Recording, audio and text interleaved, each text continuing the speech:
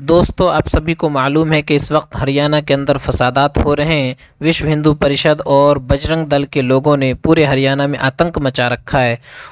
उसी में एक बहुत बुरी खबर ये आ रही है कि सुहाना की जामा मस्जिद में आग लगा दी गई।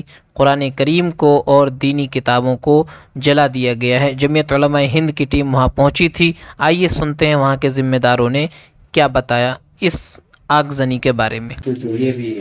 और इधर का हिस्सा भी ये मदरसे का एक दफ्तर था, जहाँ सारी दीनी किताबें थी, सब में एक तरह से आग लगा दी गई।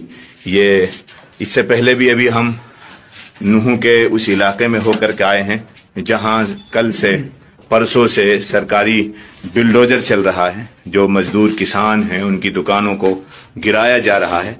और नाजायज कब्जे के नाम पर उनको गिराया जा रहा है। बहुत सारी एक तरह से दुकानें और जो जाती ज़मीन पर बनी हुई हैं, उन सारी दुकानों को गिरा दिया गया है।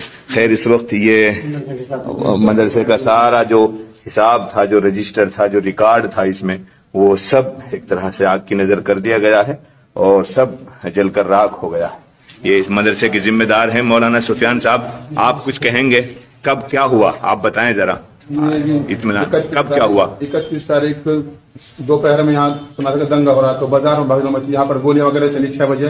तो मैंने छह बजे करीब यहाँ सब बच्चों को निकाल लिया और मैं इसमें लोग लगा के चला गया जी। तो मुझे साढ़े नौ बजे खबर मिलती है कि मस्जिद में आग लगा दी तो मैंने पड़ोसियों को कॉल किया। तो उन्होंने बोला कि मस्जिद में धुआँ निकल रहा है। तो मैंने एक सौ बारह पे कॉल की। तो वहाँ उसके बाद में पंद्रह मिनट या बीस मिनट बाद फायर ब्रिगेड आई और इसका आग काबू पाया जी। जी।